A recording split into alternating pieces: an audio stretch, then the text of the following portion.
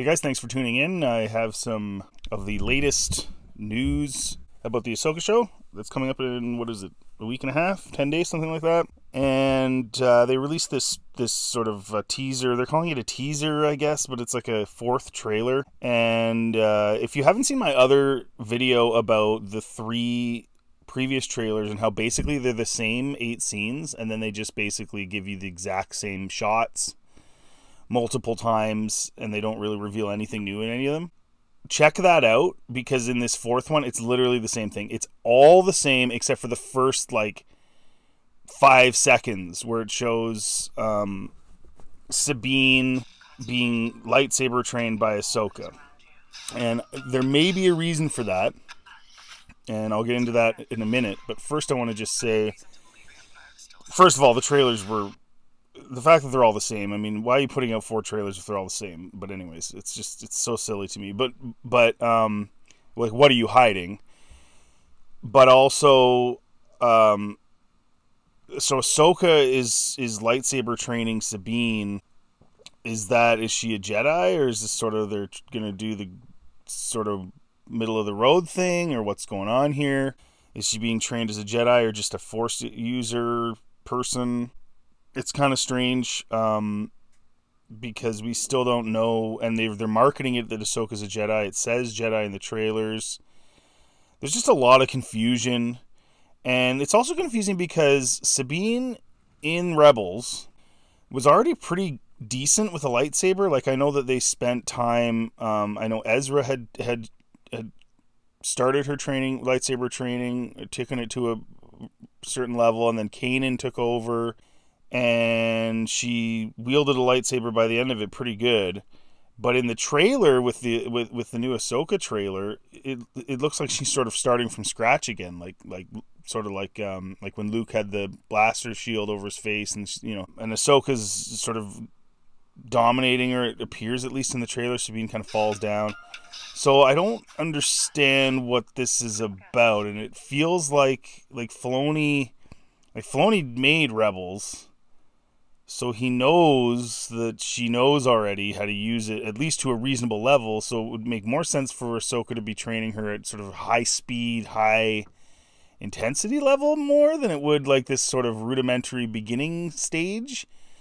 So is he retconning his own work now? Like, is he to make Ahsoka, you know, is Ahsoka now taking over that too from his own characters, Ezra and Kanan, that he made? Like, she's now the one that's going to get credit for training Sabine in her lightsaber abilities. I don't know. And and if that's the case, I don't even know why you would focus on that. If she already knows how to wield a lightsaber pretty good and you're training her to be a sort of whatever you are, non-Jedi or whatever, why wouldn't you just focus on sort of the force using and all that stuff rather than the lightsaber training because now you're kind of diminishing your own scenes that you already wrote. So that part was really weird. You guys tell me in the comment section what you think of that, especially those of you who've watched Rebels and are really big fans. And then the other thing I want to say was so the trailers are all like I said like the same 8 scenes. This this this scene this 5 seconds we get of this lightsaber training thing is the the only other stuff we get. Everything else is from the same scenes. And so is there, there's obviously a whole pile of stuff that they're not showing us. And so then I looked into this and I said to myself, wait a minute. I thought about the timelines.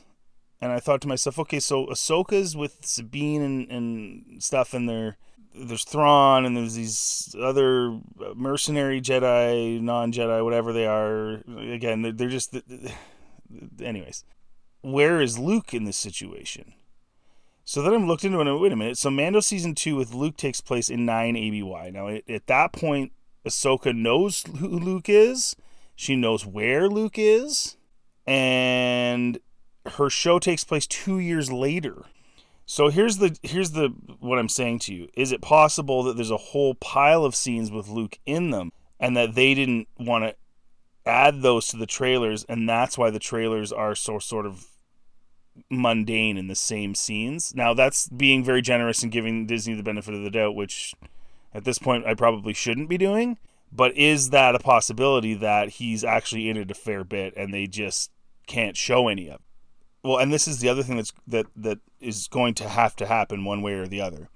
So because of this timeline, Luke knowing Ahsoka two years before, she knows where he is, he's where planet he's on, everything else. So either Luke is cameoing in this show, 100% cameoing in this show, or Ahsoka never communicates with him about what is going on. Because if she doesn't communicate with him what's going on and doesn't and doesn't involve him, then what does that say? Why wouldn't she? Why wouldn't she contact Luke if there's this big threat? She knows where he is.